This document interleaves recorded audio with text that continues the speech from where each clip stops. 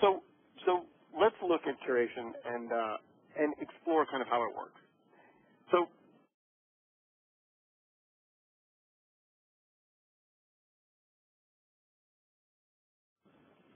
imagine you're putting together a cookbook and you wanted healthy, light, delicious meals. Well, if you look at these three images, they all have similar colors. They have little bits of red from tomatoes or peppers. They have, you know, the colors of noodles. They have green. They all have, you know, leafy greens in them. So all three of these pictures came off of Flickr.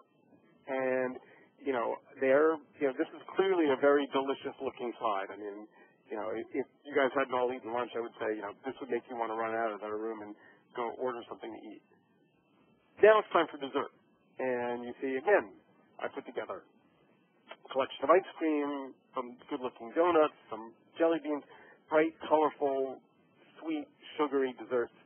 So those two collections of pictures, the main course and the dessert, are each well curated. They, they, they tell a story. They seem like they fit together. Now, if I take those same images and I mix them a different way, what you get is disgusting.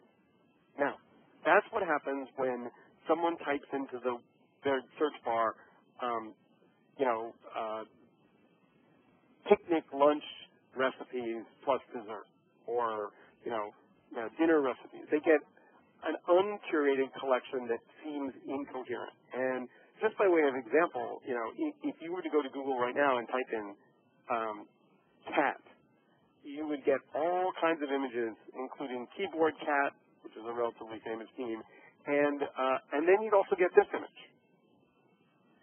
Yes, I know it's really repulsive, and I apologize for that, but I did it on purpose, which is to say, when you ask the web a question like cat, and you don't give it a, a, a contextual relevance, you end up with a picture of a man who's tattooed a cat's butt to his belly button. And yes, it's repulsive. So let's get rid of that.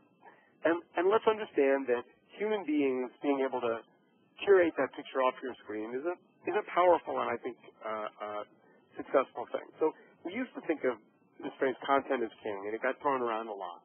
And the idea was, you know, the thing that is the most powerful on the web is content. But, but I am here to suggest that content is no longer king.